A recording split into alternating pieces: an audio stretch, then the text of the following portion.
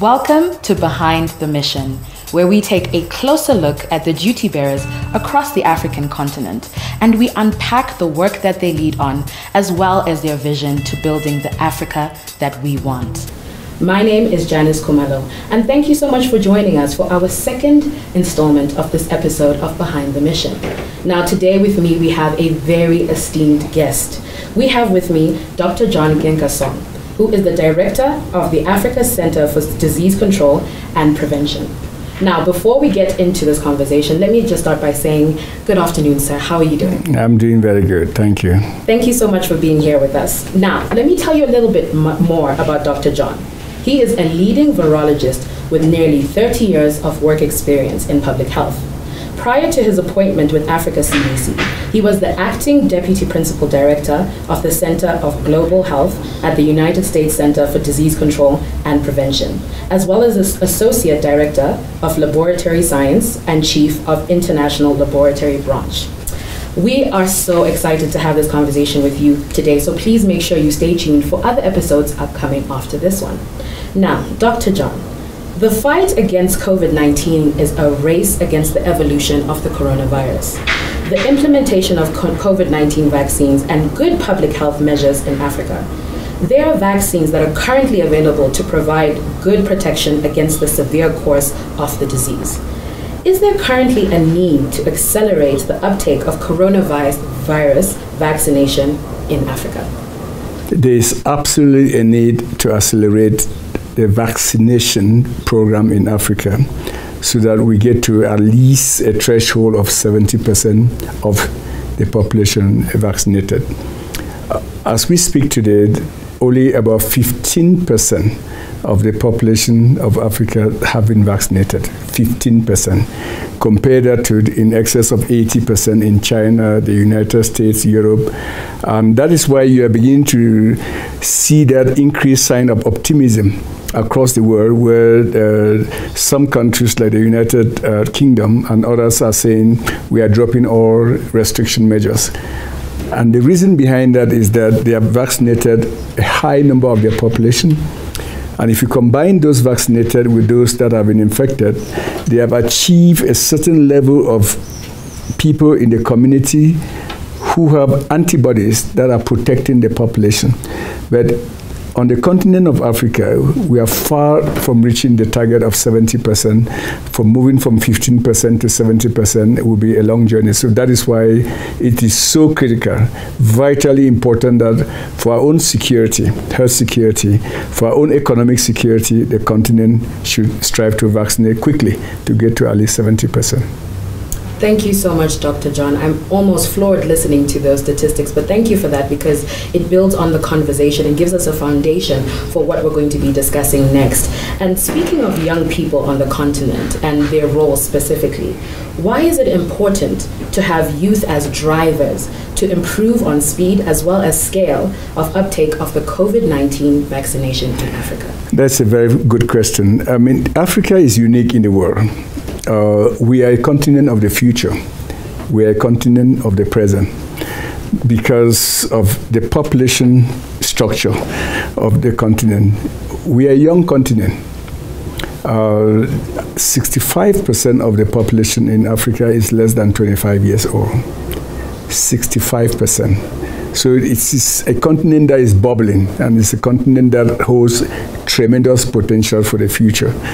So if that population size that I just described, the youthful population, do not participate actively, then they compromise their future. Because the health, as we have seen during this uh, uh, pandemic, is uh, a determinant on our development, it's a determinant on ec economic growth, and it's a determinant of our own livelihoods. So uh, it's a strong appeal to the youths of the continent to take their future into their hands. Thank you so much for that, Dr. John. It almost seems negligible to not make youth the drivers of these initiatives specifically. And I love that you said that this continent is bubbling. It's bubbling with these young people and bubbling with excitement to move forward into this new space that you're describing. Now, the AU COVID 19 vaccination Bingwa initiative, and you're hearing this here first, is exciting, particularly as you lay out the rationale behind young people as mobilizers. Now, how do you envision that the work of this initiative will support Africa CDC's overall vision to see a sustainable increase in COVID 19 vaccinations on the continent? The, the population segment driving our economy on the, on the continent are the young people whether the young people that are driving the blue collar jobs or the white collar jobs or just the, the day-to-day economy are driven by the young people, the young women and, and men. So those are the game changers. Those are the people that have to take the, they have to ensure that the future of our own health security is in our hands, and it is in their hands. Because, as I've said earlier, we are dealing with a generational crisis. Let's not make an error and get into a slot where we got into with HIV. When HIV, the virus that causes AIDS, was first identified in 1981 and up to 1983, we thought it was a disease for some uh, people somewhere else in the world. And today it has remained a disease on the continent just because we didn't do the right thing. The young people didn't take leadership. The young people didn't take ownership of that. We are now today faced with another threat, a serious threat that is very disruptive in our economies, livelihoods, and begs the question as to what leadership role and ownership role the young people must play in this. So vaccination is a key instrument a vital instrument for us to turn the tides against this pandemic, and the future is in the hands of our youthful population. I love that you said that young people are game changers, and I think that is so apt to this conversation today. What is the best way to break the bias as well as some of the myths associated with the COVID 19 vaccination? The COVID vaccines save lives. COVID vaccines are safe. COVID vaccines is access to COVID vaccines is access to economic empowerment. That is all. And uh, uh, women and young women, young girls, have an important role to play in this because if you protect a woman's life, you protect a family's life, and you protect the society's life. I think that is so vital as we celebrate uh, Women's uh, uh, uh Month or, or, or, year this, uh, as we and fight this pandemic. If you look at the overall burden of where the continent has been most impacted, I can argue based on statistics that women have been most impacted than men because women are the breadwinners for the family. If they're infected, they are sick, the whole family crumbles.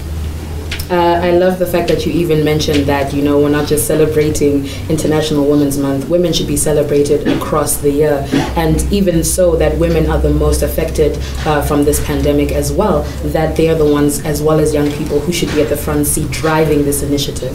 Now, I think this may be my favorite question to ask, mm-hmm. uh, but to become the director of the Africa Center for Disease Control and Prevention, what steps would a young person, say, like me, need to take in order to follow in your footsteps?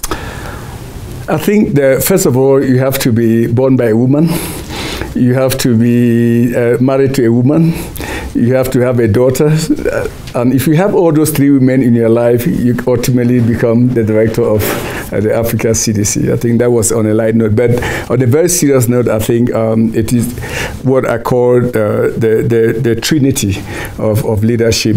You have to be committed to the cause of public health, knowing that there is no personal gains in public health.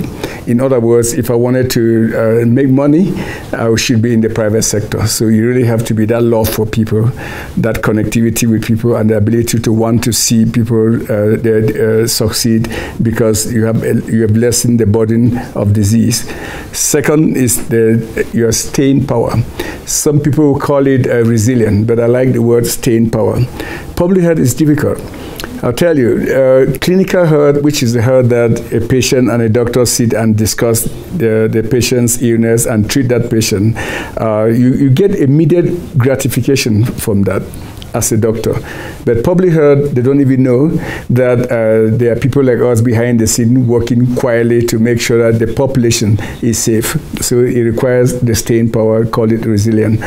Then the third and last thing is that you have to continue to uh, uh, climb uh, in terms of empowering yourself with the tools that will enable you to show leadership. Leadership in terms of identifying the problems, building the right partnerships, and making sure that you maintain those partnerships there. Those are the core ingredients that enable you definitely to become uh, a good public health leader. So that is being committed, empower yeah. yourself. Empower. And the third one is resilient. resilient. Yeah, be resilient. The trilogy of leadership. Yeah, the trinity of, of leadership is okay. what I mean. Is those three elements in public health. You don't. I mean, you have to have the commitment. I mean, I give you some examples. We. How many times have you heard people say that uh, if you smoke, you have lung cancers, which is a fact. But how many times do you still see people smoking, despite the fact that they know that they will lead to lung cancer? So that is the resilience and the commitment that. But you, as a public health expert, you never say, "Well, I told you so." Okay, it is your responsibility to make sure that you still you, you are the community's doctor to keep preaching and advising, finding ways to break that circle so that you can protect somebody's life. So that is the resilience and the commitment that I mean. I love that because also if you're going to be providing a service to the community, it's with no judgment and with the understanding that it has to continuously happen, to, regardless of what it, the outcome is supposed to be. Absolutely. Thank you so much for that, Dr. John. And we have come to the end of this amazing conversation, and we've come to the end of this episode. But thank you so much to the audience for tuning in, and please make sure you stay tuned for the next episode of Behind the Mission. Now, from me, Janice Kumalo, over and out.